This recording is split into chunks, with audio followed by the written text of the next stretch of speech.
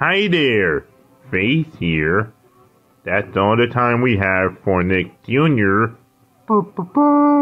today. So, I'll see you later, alligator.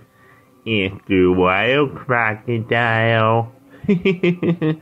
hey, that's a good one. See you later, alligator. After a you crocodile.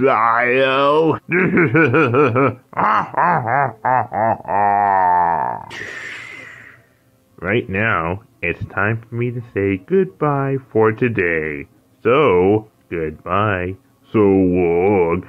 See you later. And if you don't watch Nick Jr., I'm gonna haunt your nightmares once again!